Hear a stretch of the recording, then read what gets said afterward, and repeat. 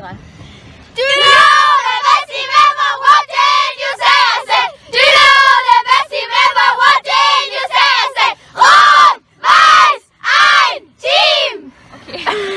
Herzlich willkommen zum nächsten Tinongo Webcast. Heute mit Paul Zellmann, äh, Schwimmer, Deutscher Meister 2017 über 200 Meter und 400 Meter Freistil und äh, in 2018 in Berlin über 400 Meter Freistil. Auch nochmal Zweiter geworden über 200 und 800 Meter Freistil, also auch schon einer unserer richtig guten Schwimmer. Und ich Ja. freue mich, dass er heute hier ist und Zeit gefunden hat. Paul, cool, dass du da bist. Ich freue mich auch riesig, dass es geklappt hat, dass wir die Möglichkeit haben, das durchzuziehen. Ja, super. Äh, klassisch erste Frage ist ja mal so ein bisschen das, äh, wie ist man eigentlich zu dem Sport gekommen? Also ich selber, gebe zu, ich war früher auch eine Wasserratte, war aus dem Becken nicht rauszuholen, allerdings eher selten im Bereich des Bahnenschwimmens, äh, eher im Bereich des wild rumspringens, Tauchens und äh, Blödsinnmachens. Wie bist du dazu gekommen, Schwimmen wirklich als, als Sport zu betreiben? Also Wasserratte war ich früher gar nicht, muss ich ehrlich zugeben. Äh, bei Familientreffen ist die häufig, am häufigsten erzählte Geschichte von meiner Oma, dass sie mich teilweise ins Bad tragen musste unter die Dusche. Als kleines Kind, ja. Ich konnte damit nichts anfangen. Und wir haben dann irgendwann im Schulunterricht in der dritten, vierten Klasse haben wir Schwimmen gehabt und da habe ich tatsächlich erst schwimmen gelernt.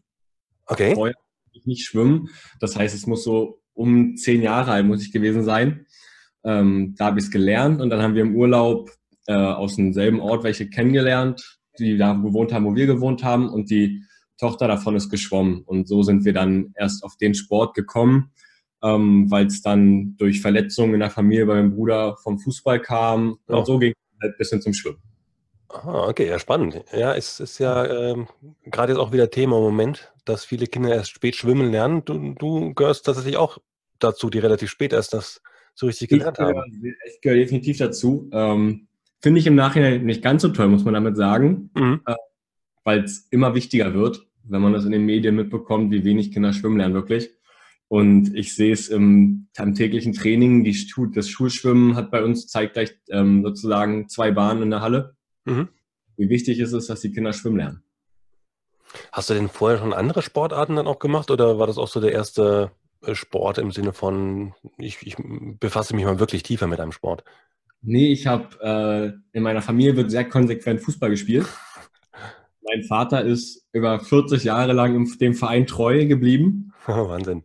Dann mein Bruder, der ist vier Jahre älter als ich, ähm, ein sehr ambitionierter Fußballer, der wie gesagt dann aufgrund von Verletzungen nicht mehr weiterspielen konnte. Ja, Ähm, ja, ich, ich will nicht sagen, ich konnte es auch, aber ich hätte sicherlich auch konnte mit dem Ball umgehen. Aber dementsprechend war das meine Mama ganz lieb, dass ich mich dafür den für den Schwimmsport entschieden habe. Ansonsten habe ich gar nicht so richtig viel probiert. Ich war, glaube ich, mal beim Judo, aber das war nichts für mich. okay. Klar, dieses äh, Richtung, Richtung Verletzungen ist Schwimmen jetzt ja nicht gerade bekannt dafür, dass es viele Verletzungen gibt. Ähm, vielleicht mal, ich, ich weiß gar nicht, gibt es klassische Verletzungen im, im Schwimmen, die man da doch immer mal hat? Die Schulter. Die Schultern sind da recht, ähm, recht belastet beim Training, beim Schwimmen. Durch, die, durch vor allem beim Kraulschwimmen und beim Schmettschwimmen, dass man da häufig am Gelenkmaximum arbeitet. Mhm. Ähm, aber das lässt sich alles behandeln und ist jetzt nichts, nicht, nicht vergleichbar mit dem typischen Kreuzbandriss beim Fußball von der Häufigkeit her. Ja, und ist wahrscheinlich auch dann, je, je intensiver man den Sport betreibt, je mehr Richtung Leistungssport, umso eher wird es wahrscheinlich ein, ein Thema werden, denke ich. Das Ja, definitiv, wobei man man da beim Schwimmen ganz gut gegensteuern kann, Mhm. ähm, mit dementsprechend mit gewissen Übungen die Schulter zu stabilisieren, um gerade ähm, zu verhindern, dass man im Maximum das Gelenk arbeitet und alles sowas. Ja, okay. Und ansonsten sind die Verletzungen wahrscheinlich eher noch im Bereich des Beckenrandes beim Ausrutschen oder äh, bei der Wende mal zu weit schlagen oder passiert das Also das kommt nicht mehr vor. Das, das kann, im relativ frühen Alter hat man das zum Glück drin. Aber dann, wenn man sich verletzt, dann halt wirklich eher beim Landtraining, beim Krafttraining an der Langhantel, dass man da sich zu wenig aufgewärmt hat. Aber das ist alles nicht in der massiven Häufigkeit gegeben. Okay. Jetzt hast du gesagt, dein, dein Vater ist äh, klassischerweise Fußballer und da äh, tief dabei und, und lang dabei. Ähm, hat der dann deinen Schwimmsport auch gleich unterstützt oder war das eher so ein bisschen, äh, dass deine Mutter dann gesagt hat, naja, dann nehme ich mir eben den Paul und dann hast du ja dann den anderen und dann gehen wir so die getrennten Wege oder äh, stand der auch voll dahinter? Ähm, also von Anfang an standen meine Eltern da komplett hinter. Mhm. Ähm, meine Eltern haben sich früh getrennt, aber trotzdem war es so, dass ähm, mein Vater am Anfang hätte er natürlich gerne noch gehabt, dass ich weiter Fußball spiele. Aber sobald er gemerkt hatte, dass ich da Spaß dran hatte, war das äh, für keinen in der Familie ein Problem, mich da zu unterstützen. Und ich brauchte die Unterstützung dementsprechend auch am Anfang. Also. Ja, ich, ich denke mir das. Das ist ja dann ähm, auch immer ein sehr logistischer Aufwand, für die Eltern, das alles unter Dach und Fach zu bringen. Also ich kenne es bei meinen Kindern eben auch. Äh, man ist dann doch ziemlich eingespannt und äh, hat nicht immer die gleichen Trainingszeiten äh, im selben Ort, äh, wo man doch das etwas jonglieren muss. Das stelle ich mir dann gerade eben, wenn deine Eltern getrennt waren, auch nicht einfach vor, dass dann, äh, dass man das wirklich alles auf die Reihe bekommt. Es war eine Herausforderung, aber ähm, wie gesagt, ich hatte das, äh, hab super Glück, mit meiner, mit meiner Mutter und meinem Vater und dementsprechend auch mit meinem Stiefvater. Die haben das alles super koordiniert und haben das immer hingekriegt, dass ich pünktlich zum Training konnte, ähm, selbst wenn es schwierig war und äh, pünktlich zur Schule gehen konnte wieder. Super. Relativ zeitig alles gepasst, alles super. Wie viel, wie viel Zeit hast du denn ähm, so pro Woche im Schwimmbad verbracht? Also mal am Anfang vielleicht, als, als es losging, ist vielleicht noch nicht ganz so viel wie dann, als es Richtung Leistungssport ging. Aber wie oft warst du so in der, in, in der Schwimmhalle? Also am Anfang, ähm, nachdem man dann, wie gesagt, gemerkt hat, dass, ähm, dass man das als Sport richtig machen möchte, noch nicht als Leistungssport, aber dass man das schon ähm, bei kleinen Wettkämpfen mit teilnehmen möchte, war das noch zwei bis dreimal die Woche. War das da auf, ja, auf dem Nachmittag, hat immer ganz gut gepasst, mit nach der Schule hinzugehen zum Training. Mhm. Ähm, aber ja, da hat sie sich auf zwei bis dreimal die Woche beschränkt. Ähm, was aber natürlich trotzdem in dem Alter dann schon ein Einschnitt war, sage ich mal so. Also wo andere dann, sage ich mal, nach Hause gegangen sind oder sich mit Freunden getroffen haben, bin ich halt erstmal in die Schwimmhalle abgebogen. Ja. Aber hast du jetzt nicht das Gefühl, da irgendwas ähm, wäre an dir vorbeigegangen? Äh, zu wenig ich Zeit für die Ich habe nicht das Gefühl, dass, irgendwas, dass ich irgendwas verpasst habe. Ähm, weil das, was ich mache, können die später nicht machen, aber das, was die machen, kann ich nach der Schwimmkarriere trotzdem noch machen. Das ist ja weise, das ist sehr weise. Also das war immer das, das hat mir meine Mama ziemlich häufig erzählt und mein Papa auch und das habe ich verinnerlicht und ist mir bewusst sozusagen. Da wusste ich, wofür ich mich entscheide. Und das ist dann auch wichtig, dass man da voll und ganz dahinter steht, denke ich. Ja, das stimmt. Jetzt hast du ja wirklich sehr viel Zeit mit dem Sport verbracht. Ähm, war dir das manchmal auch zu viel, dass du gesagt hast, boah, ach, eigentlich wäre es auch mal schön, einfach nur so ein bisschen zu schwimmen? Also klar hat man Phasen in, in der Karriere, sage ich mal, ich glaube, das kann jeder nachvollziehen, ähm, wo man einfach keine Lust hat und gerade wahrscheinlich nach irgendeiner doofen Niederlage, mit der man nicht rechnet, mit der man erstmal lernen muss, umzugehen, ist man versucht, sage ich mal, das alles hinzuschmeißen. Mhm. Aber äh, wenn man das so ein bisschen Revue passieren lässt und aufarbeitet, dann ist, glaube ich, bei vielen Sportlern einfach der Ehrgeiz zu groß, dass man erstens nicht mit einer Niederlage, Niederlage abtreten möchte ähm, und zweitens einfach, dass man es einfach besser machen möchte und dass man weiß, man kann es besser, sonst hätte man sich das Ziel ja nicht gesetzt. Also das ist, da muss ja irgendwas in einem drin, muss ja gesagt haben, ich kann das und warum es jetzt nicht geklappt hat, weiß ich nicht, aber beim nächsten Mal klappt es nicht, also klappt es dann sozusagen zu gewinnen. Und deswegen, ähm, wie gesagt, gab es das bei mir, aber das ist jetzt nicht, ich habe es nicht durchgezogen zum Glück. Ja, so eher so die klassischen Phasen, wo halt jeder auch mal sagt, naja, jetzt ist es, ähm, man, man, möchte manchmal auch vielleicht mal eine Party mehr machen und eine weniger auslassen, ähm, aber ähm, genau, hast also quasi durch die Richtung geht's. aber es treibt einen immer wieder zurück in die Schwimmhalle. Ja. Äh, wollten denn deine Eltern vielleicht mal irgendwie, dass du weniger machst, weil sie sagen, oh, Paul, ganz ehrlich, das ist, wir kriegen es kaum hin. Die haben mir von Anfang an, haben die äh, mir sozusagen die Entscheidung überlassen. Ähm, es war immer, wenn, wenn eine Entscheidung getroffen werden musste, haben sie gesagt, möchtest du das? Dann war es aber auch klar, haben sie mir aber auch gesagt, was das halt für Konsequenzen, sage ich mal, hat. Dementsprechend der Einschnitt im, im, in der Freizeit. Ähm, und wenn sie der Meinung waren, dass ich mich dafür entschieden habe und wirklich voll dahinter stehe, dann wurde es möglich gemacht. Und dann wussten sie aber auch, dass ich das durchziehe. Und wenn dann halt auch mal so eine Phase kam, wo ich mein, wo ich dachte dann, oh nee, haben sie aber auch gesagt, Paul, du wusstest vorher, wofür du dich entscheidest, jetzt zieh mal das auch durch. Nicht so mittendrin, nur so mit einem halben Hintern quasi. Mhm. Also im, im, Endeffekt auch dann unterstützen, wenn du eben mal dein Tief hast, so ein bisschen Gespür haben, ähm, hat er jetzt wirklich gar keine Lust mehr auf Schwimmen oder ist es eher mal so eine Phase, wo man vielleicht mal ein bisschen treten muss, dass er hingeht? Ja, definitiv. Also ich bin der Meinung, wenn sie das Gefühl gehabt hätten, dass ich da absolut keinen Spaß mehr dran habe und das über eine längere Zeit gegangen wäre, hätten sie mich unterstützt, äh, mir auch was Neues zu suchen oder dementsprechend halt damit aufzuhören. Also das wäre für die, glaube ich, gar kein Problem gewesen. Ja. ja. Ab wann hat sich bei dir denn so abgezeichnet, dass es eigentlich eher Richtung Leistungssport gehen muss oder kann? Dass du da auch ähm, entsprechend ein Talent dafür hast oder es dir erarbeitet hast, ähm, aber es auch willst? Also das ging bei mir relativ schnell, ähm, weil ich hätte Schwimmen gelernt in der Schule und dann wir zum Halbjahr in Urlaub und zum Ende des Schuljahres ähm, war dann mal so eine Trainerin, die da rüber geguckt hatte am Beckenrand, als die Schwimmschule war und die hat dann gefragt, ob ich mal vorbeikommen möchte. Und ich glaube, die hatte dann auch gesagt, dass in dem ersten Jahr macht man keine Wettkämpfe, da macht es einfach keinen Sinn. Und ich habe aber in dem ersten Jahr schon Wettkampf gehabt, weil sich da abgezeichnet hat, dass es, äh, dass ich dafür, dass ich das irgendwie kann.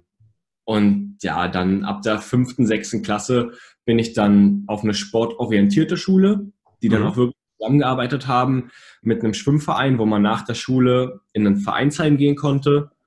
Ähm, das ist SV Wasserfreunde Brandenburg der Verein damals gewesen. Da konnte man sich dann aufhalten. Das waren dann immer so zwei, drei Stunden, je nachdem, wann man Schluss hatte.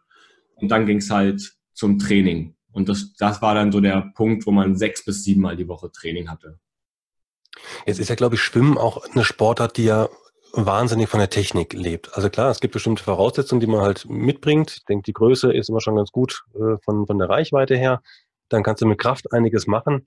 Aber am Ende des Tages, also ich denke jetzt gerade auf dem Niveau, wo du dich bewegst, ist er dann einfach wahnsinnig viel die Technik, die entscheidet, oder? Schon. Mhm. Ähm, allerdings, wenn man jetzt so Schwimmwettkämpfe sieht, sieht man, dass jeder eine andere Technik hat. Mhm. Da gibt es so viele Wege, quasi viele Wege für nach Rom. Und ähm, da muss man einfach sein Individuelles finden, muss man ehrlich sagen. Ähm, aber das stimmt schon, so gewisse Voraussetzungen in der Technik, dass man halt sozusagen die Hand gerade lässt und nicht wegrutscht, das muss man halt einfach können. Sonst, das, da muss man auch ein bisschen das Gespür für haben. So, wir nennen das Wassergefühl, wir Schwimmer. Ähm, das merkt man relativ, relativ schnell, wenn es intensiver wird, wenn man häufiger schwimmen geht, dann äh, hat man relativ schnell das Wassergefühl. Wenn man jetzt, sag ich mal, einmal die Woche geht, dann fängt es immer wieder von neuem an. Mhm. Beispielsweise bei mir jetzt, wenn ich nachher ins Wasser springe, dann weiß ich nach 200, 300 Meter, merke ich wieder, okay, ich fühle jetzt wieder das Wasser und weiß, was ich da mache. Und deswegen davon ist es eigentlich relativ abhängig, wie man das sozusagen aufnimmt. Okay. Das ist dann wahrscheinlich auch, kann ich mir vorstellen, mit ein Grund, warum man vielleicht eben im ersten Jahr oder ersten ein, zwei Jahren, je nachdem, nicht unbedingt an Wettkämpfen teilnimmt, weil das wahrscheinlich dann einfach, äh, ich sag mal, ein Talent ist, wie bei dir, funktioniert dann eben, aber die Feinheiten wahrscheinlich noch gar nicht so da sind, die dann eben andere, die im, im Wettkampf sind, schon haben. Ja, richtig. Wie gesagt, auf der einen Seite ist halt die Frage, wie viel Sinn macht es überhaupt, wenn man noch gar nicht richtig schwimmen kann? Mhm. Weil dann kommt ja noch dazu, dann kommt eine neue Wende, vor die man noch nie gestellt wurde, die man noch nie im Training richtig geübt hat unter solchen Bedingungen und wird disqualifiziert. Und es gibt nichts Schlimmeres, glaube ich, für einen Sportler, als disqualifiziert zu werden. Und das demotiviert ja dann auch wieder. Also ja, das ist, glaube ich, nicht angenehm. Muss man eigentlich jetzt äh, beim Schwimmen so viel Zeit mit dem Training verbringen? Ähm, oder geht auch weniger? Ich meine, wie gesagt, du, klar, trainierst es ja äh, wahrscheinlich mehrfach täglich, einfach um auf die Ziele hinzuarbeiten, wo du ähm, mittlerweile stehst. Aber gerade beim Schwimmen hat man ja oftmals so, ähm, so das, das Bild davon, dass die ja den ganzen Tag äh, Schwimmen trainieren müssen. Ist das so oder kann ich auch mit weniger Aufwand erstmal ähm, meinem Kind den Schwimmsport vielleicht ähm, ermöglichen? Klar, dann nicht unbedingt als Olympiateilnehmer in vier Jahren, aber zumindest, dass es dabei Spaß hat oder wie groß ist der Aufwand? Also grundsätzlich ist Schwimmen im Leistungssport, im Hochleistungssport ein sehr trainingsintensiver Sport, muss man schon sagen. Da ist das Bild, das da ist, dass man den ganzen Tag in der Schwimmhalle ist, ist größtenteils richtig. Allerdings in den Anf man, man macht relativ schnell Sprünge am Anfang. Mhm. Und das ist dann auch, man kann es relativ gut steuern. Da sind die Trainer halt heutzutage echt geschult drin, dass man es einfach langsam steigern muss. Ähm, teilweise so vor zehn Jahren war das noch so, dass früh, so früh wie möglich, wenn man körperlich weit ist, so viel wie möglich trainiert werden muss. Aber heutzutage ist es so, dass man langsam in den Sport reingeführt wird und es relativ lange dauert, bis man bei dem Trainingsaufwand ist, den man sozusagen, äh, den ich jetzt heutzutage betreibe. Also das, da kann man schon, ähm, sag ich mal, Eltern können damit ruhigem Gewissen Kinder zum Schwimmen quasi anmelden, ähm, mit dem Wissen, dass sie nicht in drei Wochen jeden Tag in die Schwimmhalle fahren müssen, um das Kind vom Schwimmen abzuholen. Okay. Meine, du erlebst es ja jetzt auch im, im Verein. Wie ist das denn mit dem Nachwuchs im Moment? Bekommt ihr Nachwuchs oder, oder ist es ein bisschen schwieriger? Hat sich das geändert in den letzten Jahren? Hm, ich glaube, grundsätzlich ist es wieder so ein Ding der Thematik, äh, wann Kinder schwimmen lernen. Mhm. Ähm, weil natürlich ist es schwierig, wenn normalerweise, wenn ein Kind erst mit elf, zwölf schwimmen lernt, da ist, hat es schon so seine Interessen, die es, die es mag. Also, so sag ich mal, viel, heutzutage viele Computerspiele oder so oder viele Fußball. Da ist es dann schwierig, dann parallel sozusagen das Standbein Schwimmen aufzubauen. Ähm, wir haben jetzt bei der SG Essen eine Schwimmschule gegründet. Da wird viel Wert drauf gelegt, dass Kinder, da können sich alle anmelden, einfach schwimmen lernen. Da geht es wirklich nur um dieses reine Schwimmlernen, hat gar nichts mit Training zu tun. Aber die sozusagen die Lehrer, die ähm, Trainer davon, die sind alle geschult und haben schon ein gewisses Auge dafür, um zu sehen, oh, der hat dieses Wassergefühl quasi, der weiß, der weiß, wie er sich bewegen muss, um vorwärts zu kommen. Und die werden dann schon verwiesen an Trainer sozusagen, wo sie, wenn sie Lust haben, sich mal melden können. Und da geht es gar nicht nach Alter unbedingt. Wenn das passt, passt es und können sich gerne mal ein Probetraining anschließen. Also das ist da dementsprechend ganz angenehm eigentlich so mit der Schwimmschule, dass man da, re, rekrutieren ist ein doofes Wort, aber dass man so ein bisschen sieht, was da äh, ein bisschen schlummert in den Kindern, sage ich mal. Ja, das probieren ja viele Sportvereine immer so ein bisschen aus, natürlich irgendwas für die, sag mal, für die ganz Kleinen anzubieten, was noch nicht hundertprozentig mit dem Sport zu tun hat, den man vielleicht anbietet im Verein. Ähm, um einfach aber, so ein bisschen Interesse zu wecken. Genau, ne, also ein bisschen Körpergefühl auch zu bekommen und dann möglicherweise vielleicht beim Verein halten zu können, bei dem Sport halten zu können. Und das ja. macht ihr jetzt dort also dementsprechend dann im, im Wasser auch. Genau. Da wird mehr gespielt als geschwommen, was aber auch absolut richtig ist in dem Alter. Da frage ich, manche können, glaube ich, erst schwimmen, bevor sie laufen können. So sehen jedenfalls auch die da. Das ist schon ganz, ganz süß manchmal. ist, kriegt ihr das auch mit, so ähm, wenn es wieder irgendwie Olympische Spiele waren, dass danach wieder mehr zum Schwimmen kommen und dann flaut das wieder ein bisschen ab? Oder kriegt ihr das auch nicht so mit? Ähm, ja, generell ist natürlich das, das Interesse kurz vor der olympischen Saison und nach ähm, den Olympischen Spielen immer ein bisschen größer an so, so eine Randsportarten, sage ich mal. Ähm, aber auch gerade bei sowas merkt man, da kommen mal häufiger Eltern und fragen nach, wie es denn so möglich ist, ähm, einfach so in den Sport reinzukommen. Mhm. Hat sich das so ein bisschen verändert? Ähm, so die Unterstützung der Eltern, was sie so investieren in die Kinder? Oder äh, kriegst du es oder kriegst du es vielleicht gar nicht mit? Ich weiß nicht, wie, wie aktiv du auch im Jugendbereich vielleicht sogar da bist, außer Vorbild. ähm, ja, also tatsächlich hat man, ich glaube, das hat man aber in jeder Sportart, dass man sehr ambitionierte Eltern hat, teilweise auch überambitionierte Eltern. Ähm, ich glaube, das gibt es in jeder Sportart. Mhm man die da manchmal ein bisschen bremsen muss. Aber ansonsten, äh, was ich merke, was ich von denen, die ich kenne, ist das alles äh, in einem gesunden Rahmen der Unterstützung. Und okay. ich, wie gesagt, also wie ich auch schon am Anfang gesagt habe, den, den braucht man da am Anfang auch. Gerade als, ähm, als Jungspund, sage ich mal, als kleines Kind ähm, ist es, glaube ich, ganz gut, mit dem Rückhalt der Eltern da so ein bisschen äh, das Ganze zu lernen. Mhm.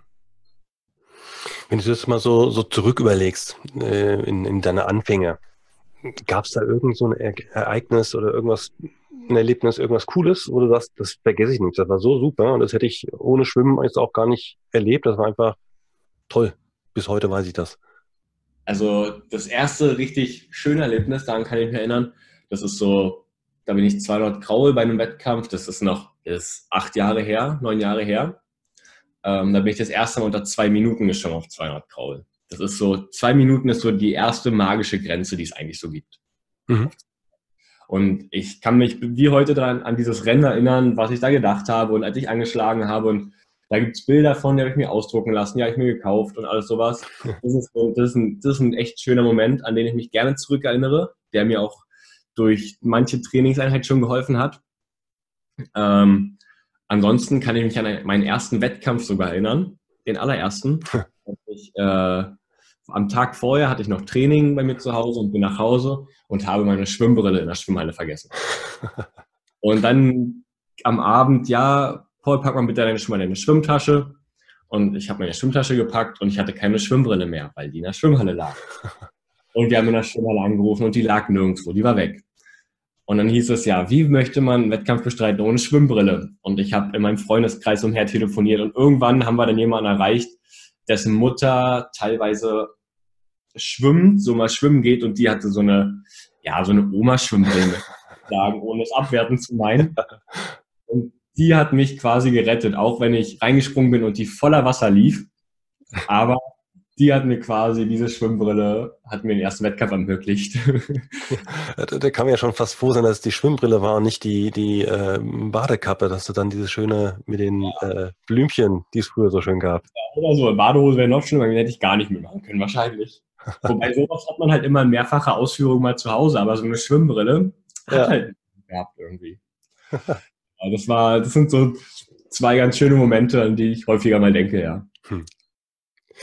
Äh, haben sich eigentlich deine, deine äh, Eltern auch irgendwie mehr noch einbringen müssen oder, oder haben sie es freiwillig gemacht? Ähm, jetzt also abgesehen von das klassische Elterntaxi, haben die irgendwie da Aufgaben ähm, im Verein übernommen? Ja, dementsprechend, bei, wenn so Wettkämpfe sind, wird halt mal gebeten, äh, Kampfrichter zu sein, zum Beispiel sowas. Wenn die Ausbildung da ist bei höheren Wettkämpfen, bei kleineren Wettkämpfen ist das gar nicht mehr notwendig, dass man, glaube ich, eine Kampfrichterausbildung hat. Ähm, ansonsten geht es da um Kuchenbacken und alles sowas. Das ist ja schnell gemacht. Das habe ich teilweise sogar manchmal gemacht. Mhm. Ähm, aber viel mehr ähm, mussten meine Eltern sich da, glaube ich, auch gar nicht mit einbringen. Also das ging da eigentlich immer auch ohne die. Okay, eher, eher dann beim Wettkampf dabei sein und mitfiebern und ja, das, das wollte ich auch selbst. Das wollte nicht nur der Verein, das war mir auch selbst immer ja. ganz wichtig, dass da eigentlich jemand vorhanden ist. Wie, wie, kriegt man das eigentlich mit beim Schwimmen? Also ich meine, gut, ich, ich habe Hockey gespielt, da ist es relativ einfach, da äh, ist es dann mehr oder weniger mal laut oder, oder nicht so laut in der Halle oder am Feld. Ähm, jetzt beim Schwimmen, ich meine, du holst jetzt ja nicht ständig Luft, ähm, aber unter Wasser kriegst du wahrscheinlich gar nicht viel mit von außen rum oder, oder wie stellt man sich das vor? Also selbst ähm, bei Wettkämpfen, wo nicht so viele Leute da sind, ist es natürlich in den Finals oder in dem letzten Lauf, wo dann halt die schnell, schnellsten mit dabei sind, ist es häufiger lauter und das kriegt man schon mit.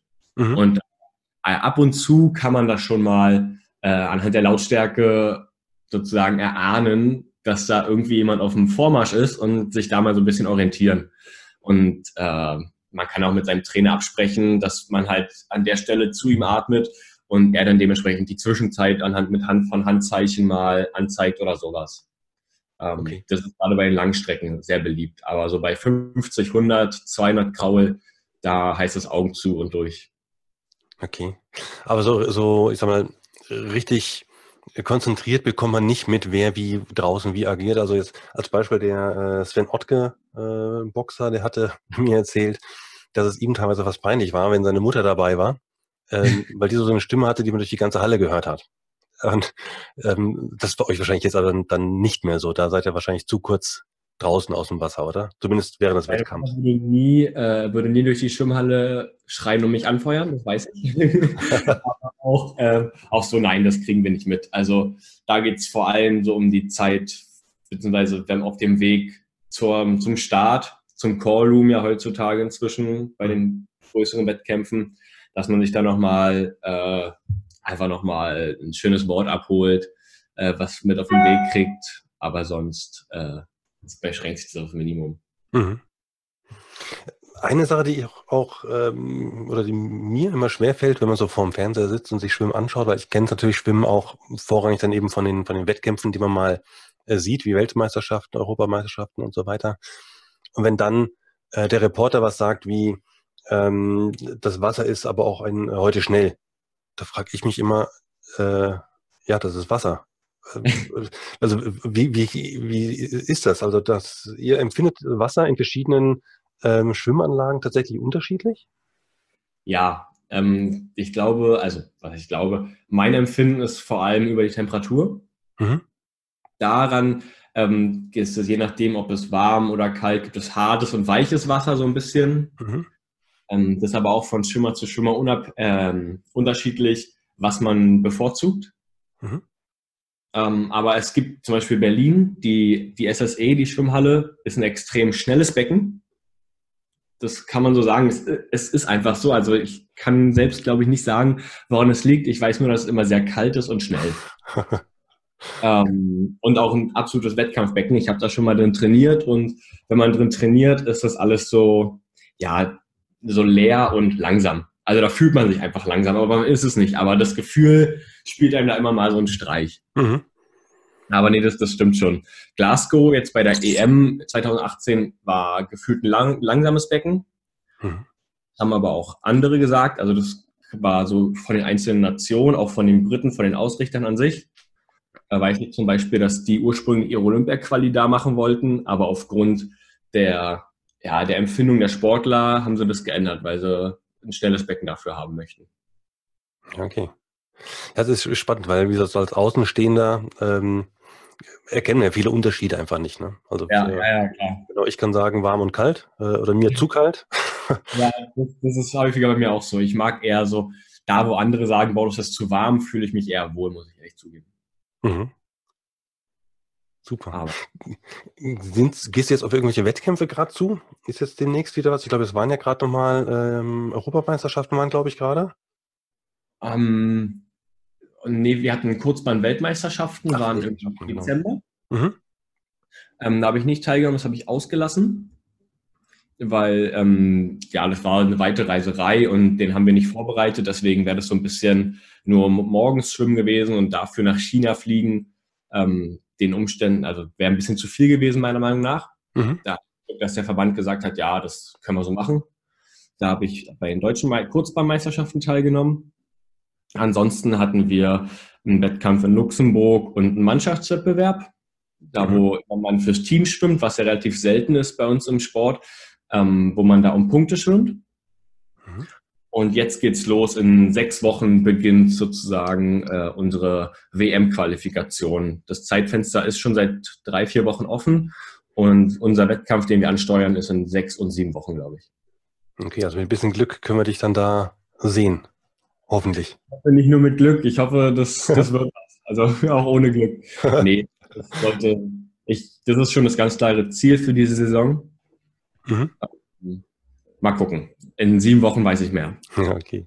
No- Nochmal zurück zu deinen Anfängen so ein bisschen. Ähm, Ja. Also gerade wenn du dann angefangen hast, auch mehr zu trainieren, ähm, wie gesagt, deine Eltern haben das auch unterstützt. Aber man kennt es ja auch, man hat ja nebenher immer noch die Schule. Hat Ja. sich das irgendwie ausgewirkt auf deine schulischen Leistungen oder äh, warst du so ein Überflieger, dass das relativ einfach war? Ja, ob sich das ausgewirkt hat, kann man natürlich nicht sagen. Hat natürlich den, nicht den Vergleich von ohne Sport. Mhm. Ähm, klar, nimmt das Zeit in Anspruch, das Training. Ähm, ich war, bin ja dann ab der siebten Klasse sozusagen ab dem Gymnasium auf dem Sportinternat in Magdeburg gewesen. Mhm. Ähm, und da war das natürlich alles noch ein bisschen, da war die Wege kürzer als zu Hause. Aber dennoch würde ich mich schulisch gesehen eher als faul bezeichnen. ähm, ich habe mein Abitur geschafft, trotz Leistungssport parallel sozusagen. Ähm, und aber ich denke schon, es wäre mehr möglich gewesen ohne den Sport, wenn ich mich da mehr reingekniet hätte, wenn der Wille größer gewesen wäre. Aber ich habe mich da ein bisschen auf den Sport verlassen, Ja. was das Studium später angeht. Also, also du würdest jetzt äh, nicht unbedingt unterschreiben, dass du mehr Energie in die Schule verwendet hättest, wenn du keinen Sport gemacht hättest. Das würde ich nicht unbedingt unterschreiben, richtig. Vielleicht wäre ich dann zu Hause gewesen und meine Mutter hätte diese Energie mehr investiert. ähm, und die wäre sozusagen durch mich hindurch geflossen, die Energie. Aber nee, das äh, glaube ich nicht. Und deswegen ähm, so, solche Vergleiche wie ohne Sport oder so, deswegen lasse ich die immer gerne. Ja, ja. Ja, man kriegt eben manchmal auch mit, dass, ähm, dass natürlich auch Eltern mal sagen, naja, wenn jetzt da aber die Noten nicht stimmen, dann musst du mit dem Sport wieder aufhören, was ich halt sehr, sehr schade finde. Ja. Weil ich dann, ich bin der Meinung, man sollte dann lieber versuchen, an anderen Stellen irgendwo Zeit zu sparen ähm, oder eben ich sich auch zu organisieren, aber Sport zu kürzen, finde ich immer sehr schwierig. Ja, definitiv, weil das ist, kann halt auch mal so in den, in den Lernphasen war es halt auch mal schön, wirklich ähm, abzuschalten während des, während des Sports. Also ich habe ich hab auch gelernt fürs Abitur, ganz klar. Und da war es dann immer schön, so zu wissen, oh, in zwei Stunden habe ich wirklich nichts anderes zu tun und habe ich nichts mit dem Lernstoff zu tun. Mhm. Das war einfach auch mal ganz angenehm.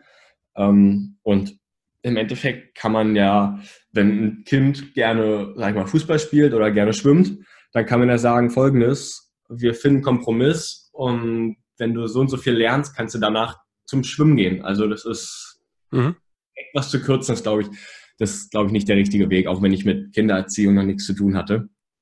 Ähm, ja, also ich finde es schade, aber ich hatte auch Glück, wie gesagt, meine, äh, meine Mama hat es immer respektiert, dass ich viel Energie in den Sport gesteckt habe und hat gesagt, solange ich alles bestehe und durch alle Klassen durchkomme, ist das für sie okay. Mhm. Also, Ja, dann ist es ja wirklich äh, zumindest ein ziemlich rundes Paket bei dir auch gewesen. Um Ja. da, definitiv, definitiv, ja. ah, sehr schön. Was machst du denn jetzt eigentlich, wenn du nicht schwimmst? Also Schule ist ja vorbei. Ja. Ähm, was machst du jetzt neben dem Schwimmen? Studiere. Und was? Ähm, ich habe äh, 2017 angefangen mit Wirtschaftspsychologie. Mhm. Ähm, habe da jetzt ähm, drei Semester durchgezogen, beziehungsweise jetzt kommt das vierte halt im April.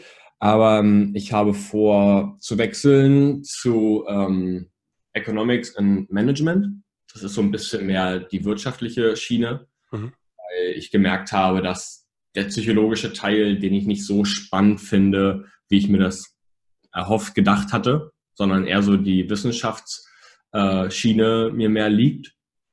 Und ja, dementsprechend werde ich wahrscheinlich zum, zum fünften Semester hin dann wechseln und jetzt einfach noch gucken, was ich auf dem Weg dahin mitnehmen kann, bis zu dem, bis zu dem Zeitpunkt, bis Oktober. Ja. Das ist aber auch wieder so ein bisschen äh, typisch, finde ich.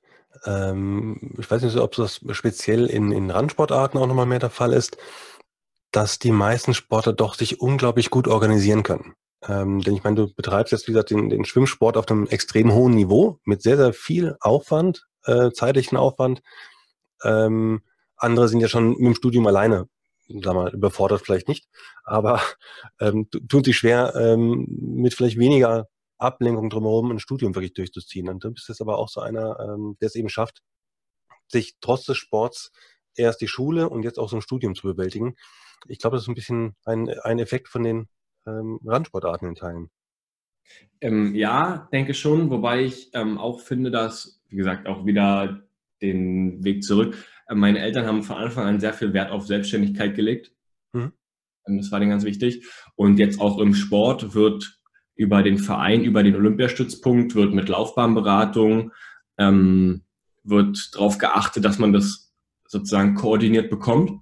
Einfach weil der, der Landesschwimmverband und auch der Deutsche Schwimmverband natürlich interessiert sind, ähm, dass der Sportler nicht so rangeht und sagt, okay, jetzt ähm, ist Studium aber doch im Ende wichtiger, mit Schwimmen kann ich kein Geld verdienen. Mhm. Und deswegen lässt das Schwimmen hinten runterfallen. Das wäre natürlich für den, für den deutschen Schwimmverband, der auf Talente baut, wäre es natürlich tödlich. Der würde da mehr Talente verlieren als alles andere.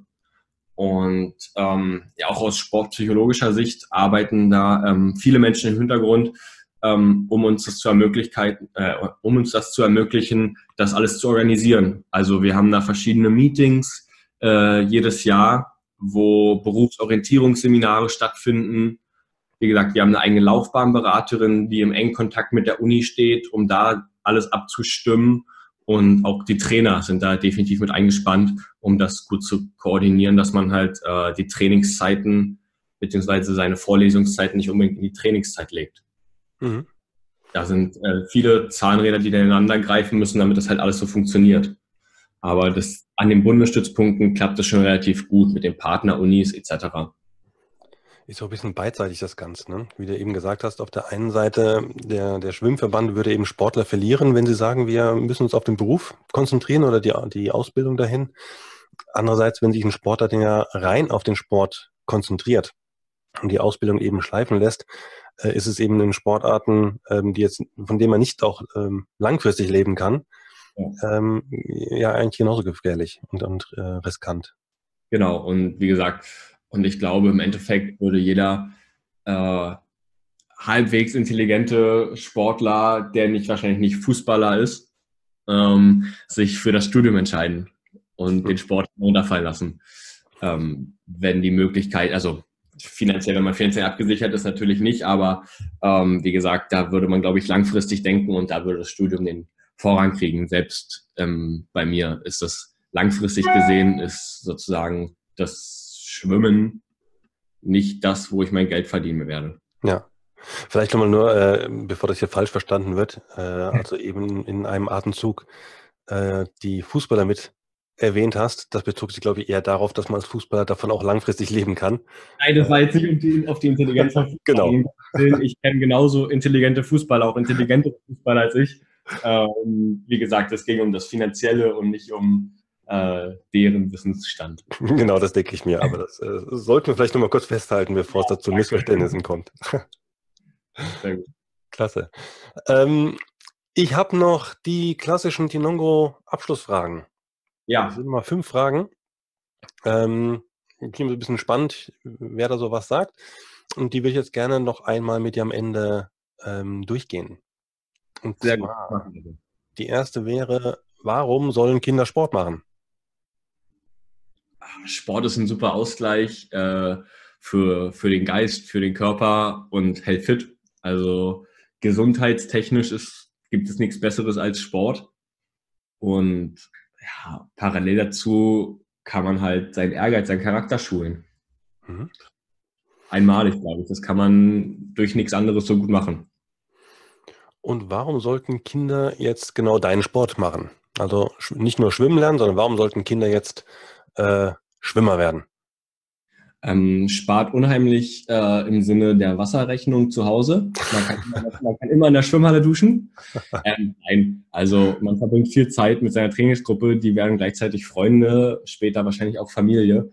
Ähm, und es macht einfach einen heiden Spaß, auf Wettkämpfe zu fahren, sich mit anderen zu messen und man ist auf sich allein gestellt. Es ist niemand anderes schuld, wenn man versagt, aber man kann auch dementsprechend den Sieg so genießen, ähm, dass man selbst dafür verantwortlich ist. Natürlich mit dem Trainer, aber man hat selbst auf dem Startblock gestanden, ganz alleine und hat die Leistung gebracht. Oder eben nicht. Und damit muss man klarkommen und kann sich daran dann auch aber freuen.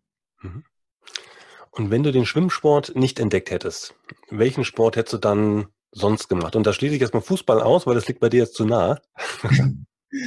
oh, ähm, das ist eine gute Frage. Ähm, ich glaube, ich wäre zum Reiten gekommen, weil meine Mama sehr, also früher geritten ist und auch ein eigenes Pferd hat. Mhm. Oder oh, ja, vielleicht so in die Richtung Badminton. Badminton ist für mich auch nochmal eine Herzenssache. Das spielen mein Bruder und ich sehr häufig und wir haben da Spaß bei. Also das wäre, glaube ich, auch so ein Ding geworden von mir. Was sind deine wichtigsten Ratschläge an die Eltern von Kindern, die jetzt Sport treiben oder mit Sport anfangen wollen? Ähm, dass man die Kinder, glaube ich, einfach nicht, beziehungsweise dass man den Grad findet zwischen unter Druck setzen, ähm, also nicht unter Druck setzen und trotzdem nicht sofort nachgeben, wenn das Kind mal keine Lust mehr hat, sondern halt unterstützen, sich auch ein bisschen anhören, woran es denn liegt, dass das Kind dementsprechend jetzt mal nicht möchte, aber halt auch äh, weiter fördern. Also das ist alles, das ist, glaube ich, am wichtigsten, dass man die Kinder nicht den Sport machen lässt, wenn man es selbst gern möchte oder wenn man selbst früher nicht erfolgreich war im Sport und jetzt eine zweite Chance hat mit dem Kind, sondern weil man dem Kind einfach die Möglichkeit geben möchte, da was zu erreichen. Mhm. Und was sind dann noch deine wichtigsten Ratschläge an Kinder, die mit Sport anfangen? Ähm, ich glaube, wichtig ist, dass der Ehrgeiz gesund ist. Und äh, ja, Fleiß ist, glaube ich, das A und O. Da hilft, also Fleiß schlägt Talent im Endeffekt, hm. bin ich der Meinung. Und deswegen äh, ja, ist Fleiß das Wichtigste, was ich da auf, mit auf den Weg geben kann. Mhm. Super. Paul, ich danke dir vielmals, dass du die Zeit genommen hast. Gar kein Problem. Ich bedanke mich für die, für die Fläche, die du sozusagen den Sportlern gibst, weil, mit, deiner, mit deinem, deiner Website. Finde ich gut, wirklich. Cool, danke. Und ich wünsche dir natürlich ganz viel Erfolg. Jetzt erstmal drücke ich die Daumen für die WM und alles, was noch darüber hinaus kommen mag. Und ähm, ja, vielleicht können wir es ja irgendwann nochmal zusammentun und nochmal was voneinander hören. Würde mich freuen. Ich würde mich auch freuen. Super. Also, danke. Danke dir. 对。